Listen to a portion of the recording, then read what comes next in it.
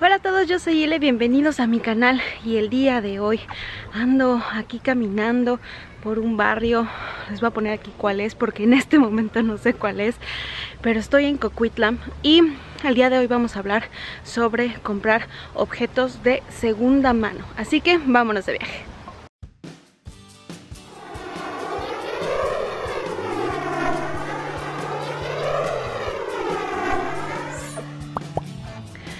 Pues cuando uno recién llega a Canadá, evidentemente traes un presupuesto establecido en general y el tema de comprar muebles e ir comprando cosas que a lo mejor tenías en tu país, pues es un tema también eh, importante en cuanto a los gastos, ¿no?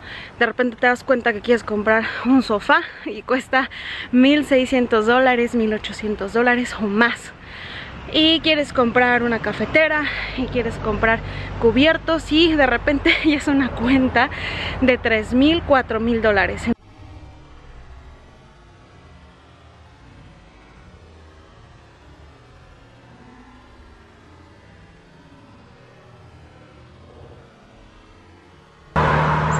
Aquí la gente como que sí me voltea a ver en los carros porque dice ¿qué hace esta mujer caminando por aquí? Si todo el mundo tiene carro la verdad está súper bonito el lugar, eh. la verdad les voy a ir aquí mostrando porque está súper bonito, las casas están increíbles, está lleno de naturaleza, qué bonito. Pero bueno, les contaba. Em, estoy buscando una cafetera en este momento y a mí me gusta mucho el café expreso, latte, nos gusta hacer latte con vainilla y cosas así. Entonces en México yo tenía una cafetera eh, esta como prima latte que hace todo en automático, capuchinos, lates, expresos y todo. Y bueno, pues la tuve que vender. Evidentemente no me la iba a traer a Canadá, ¿verdad? Ay, estoy subiendo una colina, estoy muriendo.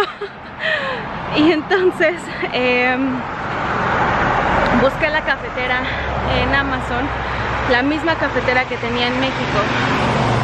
Aquí en Canadá y pues resulta que costaba casi 300 dólares. Y dije mmm, creo que no está en mi presupuesto inicial pero necesito una cafetera entonces eh, busqué en Amazon otras opciones algo parecido y encontré eh, una cafetera que hacía expreso y tenía la jarrita para hacer la espuma de la leche y poder hacer un latte la busqué y costaba como 175 dólares. Dije, creo que está muy bien, la voy a pedir. La pedí por Amazon y justamente ayer que eh, ya me habían dicho cuándo iba a llegar y todo, me metí al marketplace de Facebook eh, a buscar otras cosas porque hemos estado buscando sofacamas, mesas, algunos muebles que no pasa nada si son de segunda mano. La verdad es que la gente aquí cuida muy bien las cosas y muchas veces esta segunda mano pues es una segunda mano como nosotros, de que llegaste como migrante, compraste lo primero que pudiste comprar y después lo vendes porque lo vas a cambiar por algo mejor quizá, ¿no? O ya tienes una casa y no sabes. Entonces, la verdad es que se venden muy, muy buenas cosas en el marketplace.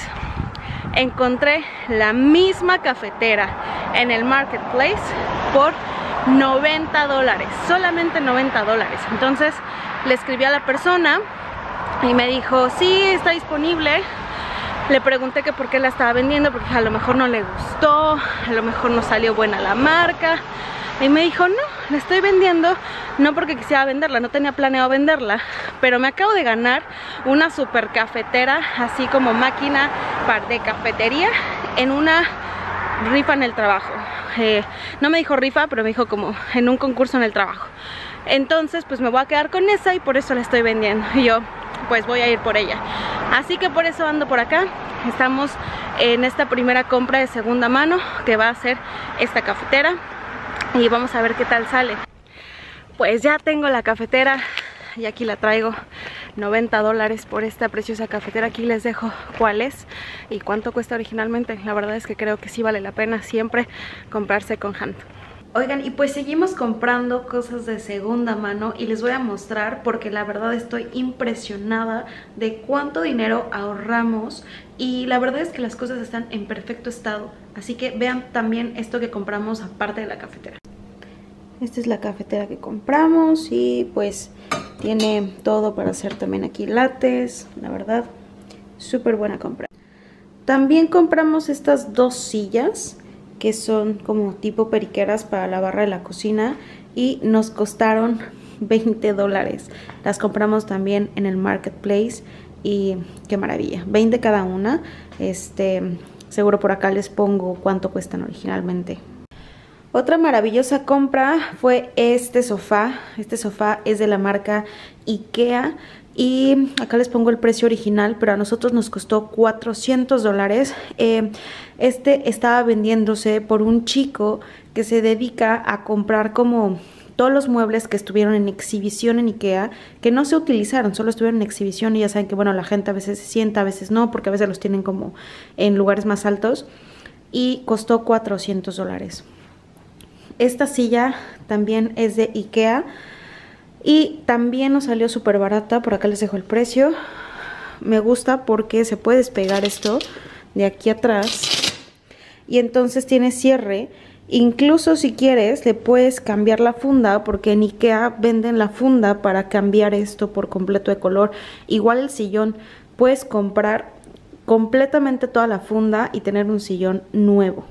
Y lo otro que compramos de tipo segunda mano porque en realidad es un open box de Ikea es esta mesa que igual les pongo por aquí los precios originales está en excelentes condiciones y lo único que tuvimos que hacer es traerla porque cuando son open box Ikea no te ofrece servicio a domicilio y pues si se dan cuenta, ahorramos muchísimo dinero comprando estas cosas en el marketplace y la verdad es que no me arrepiento, están en excelentes condiciones, están muy bien cuidados, salieron muchísimo más baratos.